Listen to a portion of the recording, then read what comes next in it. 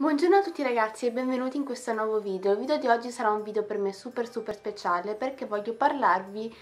vorrei esprimervi diciamo ciò che ha rappresentato per me Kodomo no Mocha, eh, alias Rossana, il giocattolo dei bambini, insomma il fumetto, il manga di Miobana che ha fatto sognare tanti tanti tanti bambini in giro per il mondo con il suo fumetto, con il suo anime, insomma, e con i messaggi che questa storia secondo me lancia. Questa non sarà una recensione, la recensione l'ho già fatta agli albori del mio canale. Kodomo no Mocha è una storia che parla di bambini, parla di bambini e dei problemi che questi bambini si trovano ad affrontare, in particolare parliamo di Sana e di Akito, i due protagonisti, eh, che sono bambini e che però eh, si trovano ad affrontare delle situazioni molto grandi per l'età che hanno, dei drammi, delle, delle situazioni davvero molto molto eh, dure. Ho in mano il sesto volume, non il primo, per la eh, frase che c'è scritta sulla copertina, infatti ora non riuscirò mai a farvela vedere, ma eh, Sana ha sulla mano scritto Never give up, ovvero mai arrendersi, ed è uno dei, dei motti più importanti di questa storia. Partiamo da questo, Never give up. Sana è un personaggio forte, una ragazza che eh, combatte per, sue, per, i suoi sogni, per le, sue, per le cose a cui tiene. È una ragazza che affronta tanti problemi, tante, tanti tanti scogli, insieme ad Akito che invece è un ragazzo più chiuso, meno estroverso, che parla poco, un ragazzo che, mm, che ha avuto dei traumi già dall'infanzia e che per questo si è chiuso molto molto molto molto in se stesso. E Sana sarà per lui una ventata d'aria fresca, una ragazza invece molto aperta, molto solare, che cerca appunto di trovare sempre il meglio nelle cose, di essere sempre eh, felice e solare, anche nelle situazioni ostili lei cerca di trovare sempre il buono e di imparare da questo. Sana è un'attrice affermata, una ragazza che, una bambina che vive di, di petto, vive di sentimento. Molte cose nella storia, nella sua vita saranno difficili, eh, molte cose non andranno per il verso giusto, ehm, ma da ogni esperienza lei cerca, lei riesce a trarne qualcosa di positivo, riesce, nonostante si abbatta, nonostante abbia delle crisi, soprattutto verso gli ultimi volumi, lei riesce sempre a ritirarsi su con l'aiuto di se stessa, con l'aiuto delle persone che le vogliono bene, con chi appunto la, la, sostiene sempre, come lei sostiene appunto Akito. Ecco perché prendere in esempio Sana, Sana è una ragazza che per i suoi amici farebbe qualunque cosa, li aiuterebbe, li aiuta senza esitare, senza pensarci due volte. Ehm, è, una ragazza, è, una, è, una ragazza che appunto mette prima il bene degli altri piuttosto che il bene di se stessa. In questo manga si parla di amore, si parla di amore appunto da due personalità molto differenti ma che allo stesso tempo si compensano, due personalità che hanno un vissuto, un trascorso diverso ma non per questo eh,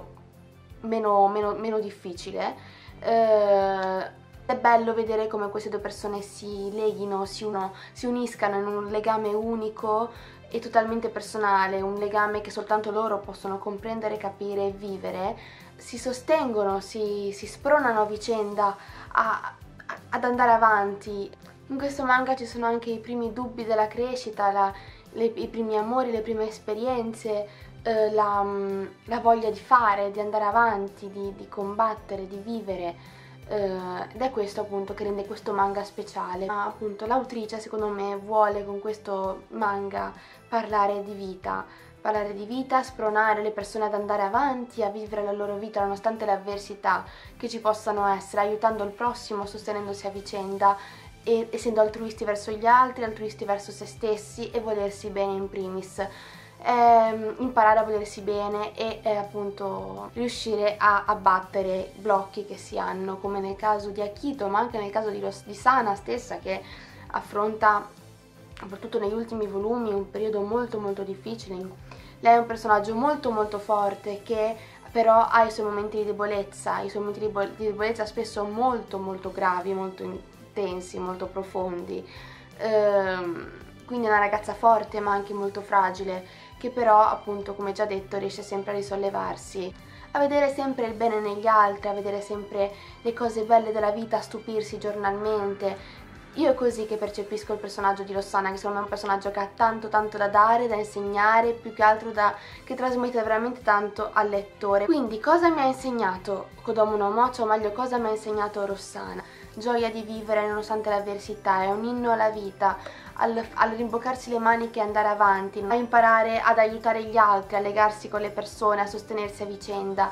ehm, appunto a non arrendersi mai e all'essere appunto altruisti verso se stessi, verso gli altri, a, a, coltivare le proprie passioni, ad andare avanti, a trovare uno, uno, uno scopo nella vita, insomma, per esempio il protagonista Kito è un personaggio che ci viene presentato inizialmente come un, come un ragazzo molto molto negativo, molto cupo, ma che appunto grazie all'arrivo di, di, Sana comunque riuscirà piano piano a ritrovare, a, a, vedere le cose sotto una prospettiva differente e anche ad, ad interessarsi a un'attività, quale in questo caso il karate. Eh, vediamo eh, come ogni avvenimento della vita ci forgi, ci cambi in bene o in male, come incontri o comunque altri avvenimenti poi ci possano far cambiare prospettiva. Sì, questo manga è un inno alla speranza, alla vita, al sognare, essere felici, all'essere creativi, non necessariamente artisti, ma creativi nel modo di porsi nel, nei confronti della vita. E io adoro queste tematiche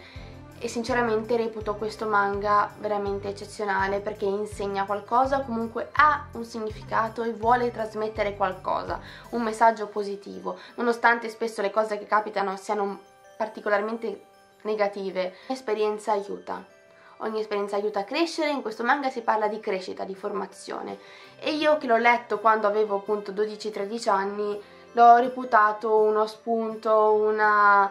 veramente una ventata d'aria fresca perché appunto mi sono ritrovata praticamente coetanea con i protagonisti a vivere quel momento in cui stai crescendo, non sei più una bambina ma non sei, più non sei ancora neanche un adolescente o una donna, quindi sei un po' in quella fase di limbo in cui non sai bene cosa come porti nei confronti della vita, cosa fare, anche perché sei molto piccolo.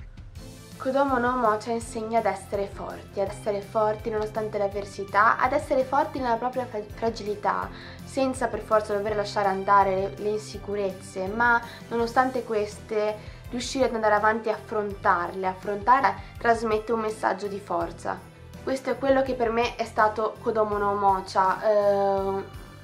una storia che a me ha segnata nel profondo e che rimane sicuramente il manga a cui sono più legata, nonché essere il primo manga che abbia mai letto. Quindi insomma, eh, mai arrendersi, never give up e appunto eh, se vi va appunto commentate giù nei commenti, se vi va di discutere di questa tematica giù nei commenti a me farebbe molto molto piacere Uh, quindi perché ognuno ha un modo di, di porsi nei confronti della vita decisamente diverso, ognuno è fatto a modo proprio, quindi eh, quindi appunto sono curiosa di sapere cosa ne pensate. Niente ragazzi, spero che questo video vi sia piaciuto e spero di aver dato il senso che volevo dare a questo video, nel senso che non voleva essere una recensione, ma voleva soltanto essere ciò che secondo me questo manga insegna e cosa trasmette, tempi di vita dà eh, e cosa appunto lascia a una persona per quanto riguarda ciò che ha lasciato a me. Spero che il video vi sia piaciuto, fatemi sapere giù nei commenti cosa ne pensate e, e niente, noi ci vediamo alla prossima, ciao!